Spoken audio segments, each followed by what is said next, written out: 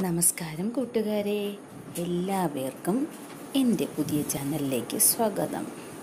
ഞാൻ കവിത. എന്റെ ചാനലിന്റെ പേര് ബ്യൂട്ടി ഓഫ് ലൈഫ്.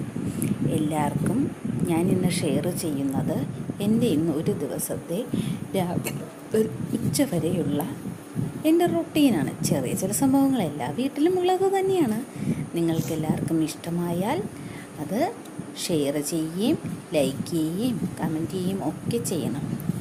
ഞാൻ പുതുതായിട്ട് തുടങ്ങിയത് ഒരുപാട് ചാനൽ കണ്ട് മോട്ടിവേഷൻ കിട്ടിയിട്ട് ഒരു ചാനൽ തുടങ്ങാം എന്ന് വിചാരിച്ചതാണ്. എല്ലാവർക്കും ഉണ്ടാവില്ലേ ആഗ്രഹങ്ങൾ? അതുപോലെ ചെറിയൊരാഗ്രഹം. എന്റെ ഒരു ദിവസം തുടങ്ങുന്നത് രാവിലെ എണീറ്റാൽ മുറ്റമടിച്ച് വാരി തുളസിത്തറയിൽ വെള്ളമൊഴിച്ച് ഒരു കോലം ഇട്ടുകൊണ്ടാണ്. അത് കഴിഞ്ഞ് കുളിച്ച് വരും. കുളിച്ച് വന്നാൽ വിളക്ക് കത്തിക്കും. ഓം നമോ ഭഗവതി വാസുദേവായ.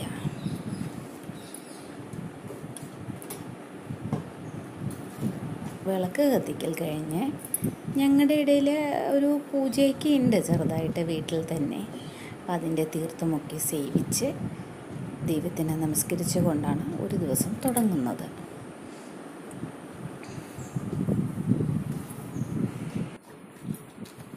പലർക്കും ഇതൊക്കെ എന്താ എന്ന് തോന്നുന്നുണ്ടാവും അല്ലേ? ഇത് ഞങ്ങളുടെ ഇടയിൽ പൊതുവെ എല്ലാ വീടുകളിലും ഉള്ളതാണ്. അപ്പോൾ ഞാൻ ഞങ്ങളുടെ വീട്ടിലുമുണ്ട് പൂജയും തേവാരവും ഒക്കെ ഉണ്ട്. അപ്പോൾ ഞങ്ങൾ വിളക്ക് കത്തിച്ച് പൂജ കഴിഞ്ഞ് തീർത്ഥം സേവിച്ച് അത് കഴിഞ്ഞ് വാതിലിന്റെ പടിയിൽ ഒരു കോലമിടും. അതിന്റെ തീർത്ഥം തുളസിക്ക് ഒഴിക്കുമ്പോൾ അതും ഞങ്ങൾ സേവിക്കും.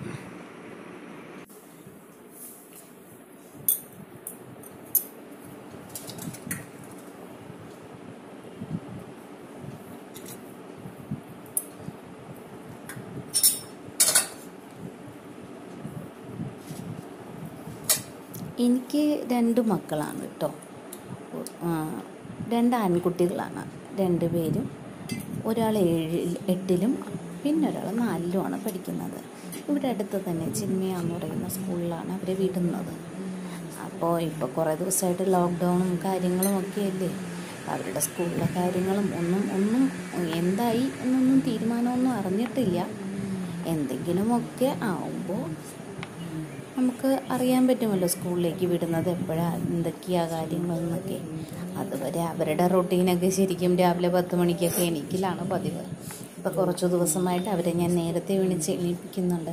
കാരണം ഇവരുടെ സ്കൂൾ ടൈം എന്ന് പറഞ്ഞാൽ രാവിലെ എട്ട് മണി തൊട്ട് ഉച്ചയ്ക്ക് രണ്ടര വരെയാണ്. അപ്പോൾ ആ സമയങ്ങളിൽ ഇവർ രാവിലെ ഒരു അഞ്ചരക്കെങ്കിലും എണീറ്റില്ല എന്നുണ്ടെങ്കിൽ അവർക്ക് തന്നെയാണ് ബുദ്ധിമുട്ട്. സ്കൂളിലേക്ക് എത്തുമ്പോഴേക്കും ഒരുപാട് ലേറ്റാവും. ബെല്ലടിക്കും പിന്നെ പണിഷ്മെന്റ് കിട്ടും. അപ്പോൾ അതിനെക്കാട്ടി നല്ലത് ഇപ്പോഴേ കുറേശ്ശെ നേരത്തെ എണീപ്പിക്കാം. ഇനി എന്നാ സ്കൂൾ തുറക്കണേന്ന് അറിയില്ലല്ലോ. ഇപ്രാവശ്യത്തെ വെക്കേഷൻ കുട്ടികൾക്ക് ആകെ കുളമായി പാവങ്ങൾ അവർക്ക് ഒരിടത്തും പോകാൻ പറ്റിയില്ല. എന്താ ചെയ്യുക ലോക്ക്ഡൗൺ ആയപ്പോഴത്തേക്ക് എവിടെയെങ്കിലും പോകാമെന്ന് വെച്ചാൽ അവിടെ പെട്ടുപോയില്ല അത് കാരണം പോയിട്ടും ഉണ്ടായിരുന്നില്ല ആദ്യം തന്നെ ലോക്ക്ഡൗൺ ആയപ്പോൾ വീട്ടിലേക്ക് പോകാനൊരു പ്ലാൻ ഉണ്ടായിരുന്നു. പിന്നെ അത് ഡ്രോപ്പ് ചെയ്തു. കാരണം അത് എപ്പോഴാണ് ഇതാണെന്നൊന്നും അറിയാൻ പറ്റില്ലല്ലോ. അത് കാരണം അത് ഭാഗ്യമായി അത് കാരണം ഞങ്ങൾ മാത്രമുള്ള കുറച്ച് നിമിഷങ്ങൾ നിങ്ങൾക്ക് കിട്ടി. അച്ഛനും അമ്മയും മക്കളും ഒക്കെ കൂടിയുള്ള കുറച്ച് നല്ല നിമിഷങ്ങൾ. നല്ലതാട്ടോ ഇടയ്ക്ക് ഇങ്ങനൊരു സംഭവം വരുന്നതും. പിന്നെ ഈ ഒരു വൈറസ് എന്ന് പറഞ്ഞാൽ അത് പേടിപ്പെടുത്തുന്നതാണോ എന്ന് പറയുന്നതിൽ കാട്ടിയും ഭീകരം തന്നെയാണ്. അതിന്റെ ഒരു അവസ്ഥ. എന്താ ചെയ്യാലേ? നമുക്കൊന്നും ഇതൊന്നും നമ്മുടെ കയ്യിലല്ലല്ലോ. നമ്മൾ ഈശ്വരനെ വിളിക്കാം പ്രാർത്ഥിക്കാം എന്നല്ലാണ്ട് ഇതിൽ കൂടുതലൊന്നും നമുക്കൊന്നും ചെയ്യാനുമില്ല. അപ്പോൾ ഇന്ന് രാവിലെ പ്രഭാത ഭക്ഷണം ഞങ്ങൾക്ക് ഗോതമ്പ് മാ പൊടി കൊണ്ടുള്ള ദോശയും കുറച്ച് തീയലുമാണ്. തീയൽ ഇന്നത്തെ കൂട്ടാനല്ല അത് ഇന്നലത്തതാണ്. കുറച്ച് പൊട്ടറ്റോയും സവാളയും ഇട്ടിട്ട് കുറച്ച് തീയൽ പോലെ ഇന്നലെ വെച്ചിട്ടുണ്ടായിരുന്നു. അപ്പോൾ അത് ബാക്കിയുണ്ടായിരുന്നു. അപ്പോൾ ഞങ്ങളുടെ ഫ്രിഡ്ജ് കേടാണ്. ലോക്ക്ഡൗൺ തുടങ്ങിയപ്പോൾ കേടായതാണ് ഇനിയിപ്പോൾ അതെന്ന് നന്നാക്കാൻ പറ്റുമെന്ന് ഒരു ഐഡിയയും ഇല്ല. അപ്പോൾ അതിന്റെ അനുസരിച്ചല്ലേ? അപ്പോൾ നമുക്ക് ബാക്കിയുള്ള കാര്യങ്ങളും ചെയ്യാൻ പറ്റൂ. അപ്പോൾ എന്താ പറ്റിയെന്ന് വെച്ചാൽ ഇപ്പോൾ കൂട്ടാനൊക്കെ ബാക്കി വന്നാൽ പണി കിട്ടും ഇപ്പോൾ എന്താ ചെയ്തതെന്ന് വെക്കുന്നത് വെച്ചാൽ രാത്രിയും ഉച്ചയ്ക്കും ഒക്കെ കൂട്ടാൻ നല്ലോണം തിളപ്പിച്ച് ഈ ഉണ്ടാക്കിയ പാത്രത്തിൽ തന്നെ വെച്ചിരിക്കും. കാരണം മാറ്റി കഴിഞ്ഞാൽ ചിലപ്പോൾ ചീത്തയാവാൻ ചാൻസ് ഉണ്ട്. എന്തെങ്കിലും ഇത്തിരി വരുത്തിരി പുറമേയുള്ള വെള്ളത്തിന്റെ അംശം മാറ്റുന്ന പാത്രത്തിലുണ്ടായിരുന്നാൽ മതി. അത് കാരണം ആ പാത്രത്തിൽ തന്നെ വെച്ച് തിളപ്പിച്ചെടുക്കുകയാണ്. പതിവ്. രാവിലെ പലഹാരത്തിന് എടുക്കാനും ലിക്വിഡായിട്ടുള്ള കൂട്ടാൻ കുട്ടികൾക്ക് ഇഷ്ടമാണ്. ദോശയുടെ ഉപ്പൊക്കെ കഴിക്കാൻ. പിന്നെ ചട്നി അരയ്ക്കണമെന്ന് ഇവിടെ നിർബന്ധമൊന്നുമില്ല. എന്തെങ്കിലും ഉള്ള നിർബന്ധം ടൊമാറ്റോയും ഉള്ളിയൊക്കെ ഇട്ടിട്ടുള്ള ഒരു ചട്നിയാണ്.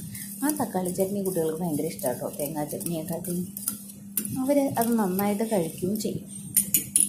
അപ്പോൾ ഇന്ന് ഗോതമ്പ് ദോശയും ഉള്ളി തീയലും ആണെന്ന് പറഞ്ഞു വെച്ചിട്ടുണ്ട്. ഇത് കണ്ടോ? മുറ്റത്തൊരു ചെമ്പരത്തി. എത്ര ദിവസമായി അതിനെ നടന്ന് നടും അത് വഴിക്ക് പോവും. അങ്ങനെയായിരുന്നു. ഒരിക്കലും ഒരു ചെടിയും പിടിക്കില്ല ഈ മുറ്റത്ത്. എന്താണെന്ന് എനിക്കറിയില്ല. മുറ്റത്തിന്റെ കുഴപ്പമാണോ? എന്റെ കൈയുടെ കുഴപ്പമാണോ എന്നറിയില്ല. എന്ത് നട്ടാലും അത് മുളയ്ക്കില്ല. ഗുരുത്വമില്ല എന്നും അറിയില്ല. അത് തന്നെയാണ് സംഭവം. ആ. ദോശയും കറിയും റെഡിയായി. ഇനി ഓരോരുത്തരുടെ ആയിട്ട് കഴിച്ചാൽ ആ പണിയും കഴിഞ്ഞു. ഇത് കഴിഞ്ഞ് അതിന്റെ ഒപ്പം തന്നെ ചോറിനും വെള്ളം വെച്ചിട്ടുണ്ട് ഞാൻ. അപ്പോൾ വെള്ളവും തിളച്ചു ചോറിന് അരി ഞാൻ റൈസ് കുക്കറിലാണ് ഇരിക്കുന്നത്. അതെന്താ പറയുക തെർമൽ കുക്കറോ? ആ അങ്ങനെ എന്തോ. ഇതൊന്ന് തിളച്ച് കഴിഞ്ഞാൽ അതിലേക്ക് വെച്ച് കഴിഞ്ഞാൽ ഒരു മണിക്കൂർ കഴിയുമ്പോൾ നമുക്ക് പഠിക്കാം. ഇത് റേഷനരിയാണേ. മറ്റേ നമ്മൾ കടയിൽ നിന്ന് വാങ്ങുന്ന അരിയല്ല റേഷന്റെ നല്ല അരി കേട്ടോ വെള്ള അരി. വെള്ള അരി വേഗം വേഗുന്നുണ്ട് ഗ്യാസും അധികം ചിലവില്ല. സുഖമായിട്ട് വെന്ത് കിട്ടും. വലിയ പണിയില്ല. ടെൻഷനൊന്നുമില്ല. അത് വെച്ച് കഴിഞ്ഞാൽ ആ പരിപാടി കഴിഞ്ഞു. ഇനി ഒരു മണിക്കൂർ കഴിഞ്ഞ് അതിനെ നോക്കാം.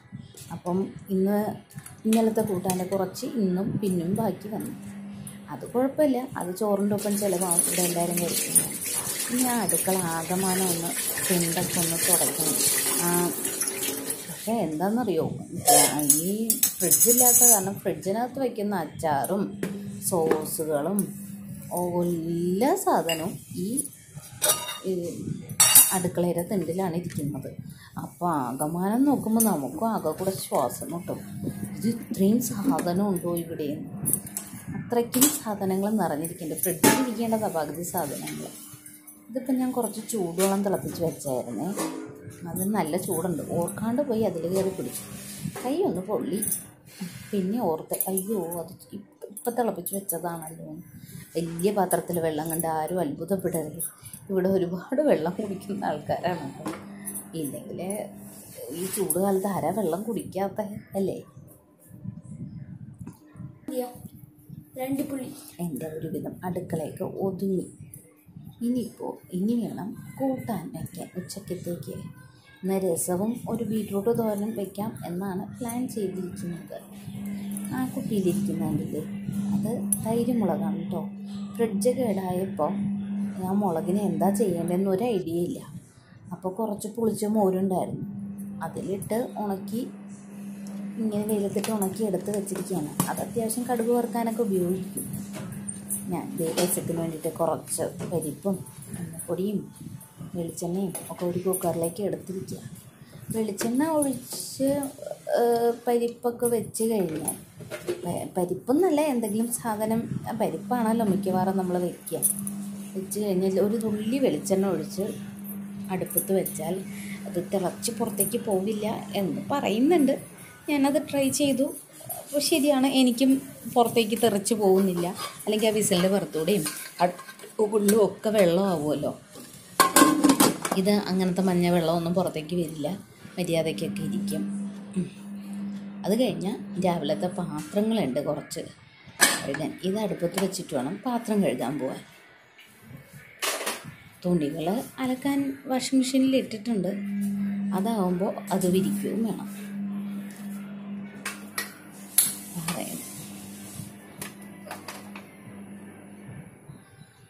ഇത് കത്തിച്ച് കഴിഞ്ഞു ഈ ഇതേ പാത്രം കഴുകലാണ്. പാത്രം കഴുകൽ കഴിഞ്ഞാൽ പിന്നെ കൂട്ടാന്റെ പരിപാടിയിലേക്കാണ് പോകുന്നത് കുക്കറിന് വിസിൽ കണ്ടോ കുക്കറിൽ ഒരു തുള്ളി പോലും പുറത്തേക്ക് വരുന്നില്ല. ഞാൻ രസം വെറുതെ ചെറുതെ വറുത്തിട്ടൊന്നുമല്ല ജസ്റ്റ് സിമ്പിളായിട്ട് കുരുമുളകും ജീരകവും കൂടെ പൊടിച്ചിട്ട് കുറച്ച് രസപ്പൊടി. എന്റേതായിട്ടുള്ള രസപ്പൊടി കുറച്ചിട്ടിട്ട് മിക്സിയിൽ കറക്കി എടുക്കും എന്നിട്ട് തക്കാളിയും തക്കാളിയും വെള്ളം ആദ്യം തിളപ്പിക്കണം അതിലേക്ക് ഇട്ടിട്ട് എന്താ പറയുക ആന്റി ഓക്സിഡന്റാന്ന് പറഞ്ഞ് ഇടുന്നതാണ്. രോഗപ്രതിരോധ ശേഷി കിട്ടട്ടെ. ഇപ്പോഴത്തെ കൊറോണയോ ഒക്കെ എന്തൊക്കെയോ ഉണ്ടല്ലോ. ഒക്കെ പോവാൻ വേണം പോകണം എന്നുള്ള പ്രാർത്ഥനയിലാണ് ഇരിക്കുന്നത്. എത്ര പേരാ അല്ലേ കഷ്ടപ്പെടുന്നത്? ഈ ഒരു രോഗം കാരണം ഈ ഒരു രോഗാണു? എന്തുകൊണ്ട് വന്നു എന്നുള്ളത് പോലും ആർക്കും ഒരു ഐഡിയ ഇല്ല എന്ന് തോന്നുന്നുണ്ട്. എന്തൊക്കെ പറഞ്ഞാലും ചൈനക്കാരാണെങ്കിലും ആരാണെങ്കിലും ശരി തന്നെ. അത് നമുക്ക് വേൾഡ് വൈഡ് അതൊരു പ്രശ്നമായി തന്നെയാണ് ഇരിക്കുന്നത്. നമുക്കൊന്നും ചെയ്യാൻ പറ്റില്ലല്ലോ ഇതിൽ ഇതിൽ എന്താണ് പ്രിക്കോഷൻ പ്രിക്കോഷൻ എന്ന് പറഞ്ഞാൽ ഇമ്മ്യൂണിറ്റി വർദ്ധിപ്പിക്കുക. ഇമ്മ്യൂണിറ്റി വർദ്ധിപ്പിക്കാൻ നമ്മളെപ്പോലുള്ള സാധാരണക്കാർക്ക് എന്ത് ചെയ്യാൻ പറ്റും? നമുക്കിപ്പോൾ ഈ മഞ്ഞൾപ്പൊടി കുരുമുളക് ഇഞ്ചി കറിവേപ്പില ഇതൊക്കെ തന്നെ നമ്മൾ വീട്ടിൽ മരുന്നെന്ന് പറയാമല്ലോ അതും ആയുർവേദം പോലെ. എന്റെ ചോറ് വെന്ത് കഴിഞ്ഞു വെറും ഒരു മണിക്കൂറേ വെച്ചിട്ടുണ്ടായിരുന്നത് വേഗം ആവും കേട്ടോ ഇതിൽ ഇങ്ങനെ ഒരുപാട് സമയമൊന്നും എടുക്കില്ല. ഇത് എന്റെ ചോറ് വടിക്കാൻ വേണ്ടിയിട്ട് ഞാൻ മേടിച്ചൊരു പാത്രം കേട്ടോ ഇവിടെ അതിനുള്ള സൗകര്യമില്ല. ഇത് ഞങ്ങളുടെ സ്വന്തം വീടല്ല. അത് ഞങ്ങൾ വാടകയ്ക്കാണ് ഇവിടെ താമസിക്കുന്നത് കേട്ടോ. അപ്പോൾ ഇത് എന്താ പറ്റിയെന്ന് വെച്ചാൽ ഞാൻ കുറച്ച് പുളിയും ഒക്കെ പുളി എടുത്ത് വെള്ളത്തിൽ ഇട്ട് വെച്ചിട്ടുണ്ടായിരുന്നു. അതും പിഴിഞ്ഞൊഴിച്ച് ഉപ്പും ഇട്ട്. ഞാൻ പിന്നെ ഇത്തിരി ശർക്കര ഇടാറുണ്ട് ഏത് കൂട്ടാനും. എന്താ പറയുക എനിക്കൊരു ഇത്തിരി മധുരം ഇഷ്ടമാണ് ഞാൻ മാത്രമല്ല കേട്ടോ ഞങ്ങളുടെ വീട്ടിൽ ഒരുവിധം എല്ലാ ഫാമിലീസും ഉള്ള കുടുംബത്തിലെല്ലാവരും അതെ. എന്തെങ്കിലും ഭക്ഷണം ഉണ്ടാക്കുമ്പോൾ കൂട്ടാൻ എന്തെങ്കിലും ടേസ്റ്റ് വ്യത്യാസം വന്നാൽ കുറച്ച് ശർക്കര ചേർക്കുന്നത് ബാലൻസ് ചെയ്യാൻ സഹായിക്കും. ടേസ്റ്റ് ബാലൻസ് ചെയ്യാൻ സഹായിക്കും എന്നാണ് പറയുന്നത്. ഞങ്ങളെല്ലാവരും ഇങ്ങനെ ചെയ്യാറുണ്ട്. അപ്പോൾ രസത്തിന്റെ ഒരുവിധം പരിപാടിയായി. അതവിടെ തിളയ്ക്കട്ടെ ഇനി അടുത്തതായിട്ട് തോരൻ വെക്കണം. അതിന് മുന്നേ രസത്തിന് ഞാൻ കായം ഇടാൻ മറന്നുപോയി. സാധാരണ കായം വറുത്തിട്ട് അതിന്റെ കൂടെ പൊടിക്കുകയാണ് പതിവ്. ഇത് മറന്നുപോയി. അപ്പം ഇതിലുള്ള കായ അതിൽ കായപ്പൊടി തീർന്നിരിക്കുകയായിരുന്നു. ഉള്ളതിനെ ഞാൻ ഇട്ട് ഒപ്പിച്ചതാണ് അപ്പോൾ വെള്ളം തിളച്ച് വന്നപ്പോൾ അത് പൊടിച്ചതേ ഉള്ളൂ കേട്ടോ അരച്ചൊന്നുമില്ല. ജീരകവും കുരുമുളകും കുറച്ച് രസപ്പൊടിയും കൂടെ അതിലിട്ട് ഒന്ന് കറക്കിയിട്ട് ആ ക്രഷ് ചെയ്ത കോഴ്സ് പൗഡർ കേട്ടോ ആ കോഴ്സ് പൗഡർ അതിലേക്ക് നല്ല തിളയ്ക്കണം. നല്ല തിളച്ചിട്ടാണ് ആ പൊടി ഇടേണ്ടത്. പൊടി ഇട്ടിട്ട് ഒന്ന് ഇളക്കിയിട്ട് ചെറുതാക്കി വെക്കുക. കുറച്ച് നേരം ഫ്രിഡ്ജിലേക്കിട്ട് ഇതെല്ലാം കൂടെ ഒന്ന് പിടിക്കട്ടെ. പിടിച്ച് കഴിയുമ്പോൾ കുറച്ച് കറിവേപ്പിലയും മല്ലിയിലയും കൂടെ ഇട്ട് തിളപ്പിച്ച് വെക്കണം. അപ്പോഴാണ് തുണികളൊക്കെ വാഷിംഗ് മെഷീനിൽ കറങ്ങി തീർന്നു. അപ്പോൾ തുണികളൊക്കെ ഒന്ന് വിരിച്ചേക്കാമെന്ന് വിചാരിച്ചു. വളരെ കുറച്ചുള്ള തുണികൾ ഒന്ന് വിരിച്ചിട്ട് ഞങ്ങളുടെ വണ്ടിയില്ല കേട്ടോ.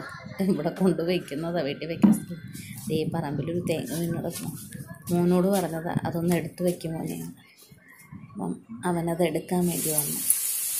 ആ അതിന്റെ പരിപാടി. രസത്തിനും കടുവർക്ക് തോരനും ഇവിടെയായി. താങ്ക്സ് ഫോർ വാച്ചിങ് എല്ലാവർക്കും ഇഷ്ടപ്പെട്ടെങ്കിൽ ലൈക്ക് ചെയ്യുകയും കമന്റ് ചെയ്യുകയും ഷെയർ ചെയ്യുകയും ചെയ്യണം. എന്റെ ആദ്യത്തെ ഒരു പരിശ്രമമാണ് തെറ്റുകുറ്റങ്ങൾ ഉണ്ടാവും എല്ലാവരും ക്ഷമിക്കുക. കൂടുതൽ നല്ല വീഡിയോസും നല്ല റെസിപ്പികളുമായിട്ട് വരാനാണ് എന്റെ ആഗ്രഹം. എല്ലാവരുടെയും പ്രോത്സാഹനം ഉണ്ടാവണം എല്ലാവരും സബ്സ്ക്രൈബ് ചെയ്യണം എന്റെ ചാനൽ എല്ലാവർക്കും നന്ദി. നമസ്കാരം.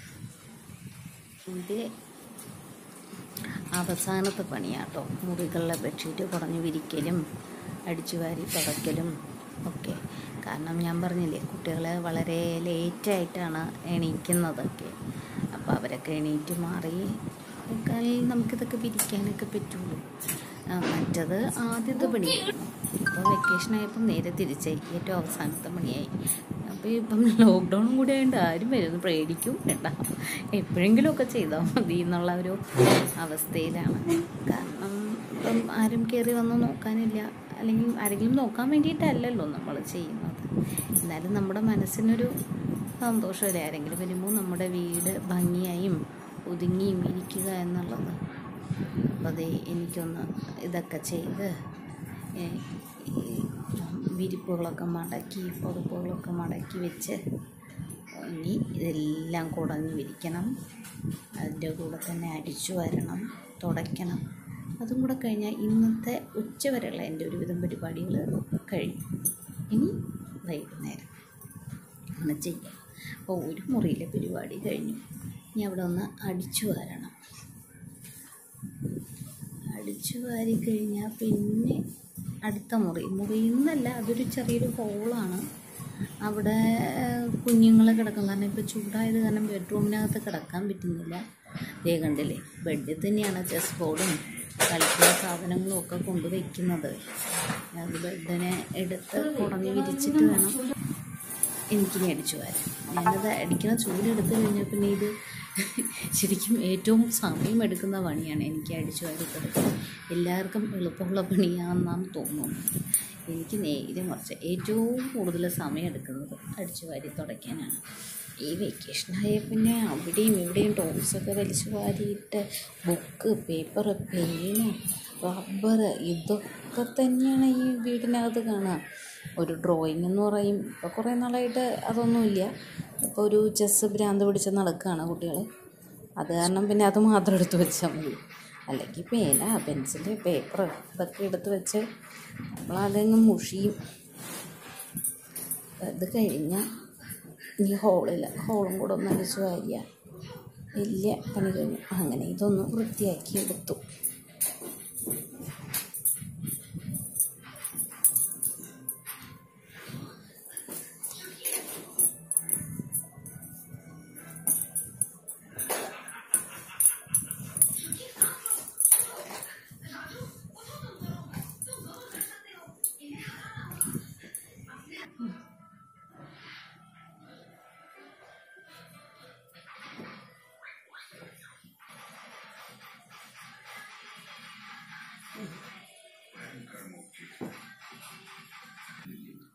ഇവിടുത്തെ കഴിഞ്ഞ് ഹോളും കൂടി കഴിഞ്ഞാൽ എന്റെ ഇന്നത്തെ അരിച്ചുവാരി പരിപാടിയും തുടക്കലും ഒക്കെ കഴിഞ്ഞു. അപ്പം എല്ലാവർക്കും ബായ് പുതിയൊരു വീഡിയോയുമായി ഞാൻ വരുന്നത് വരെ എല്ലാവർക്കും എന്റെ നമസ്കാരം.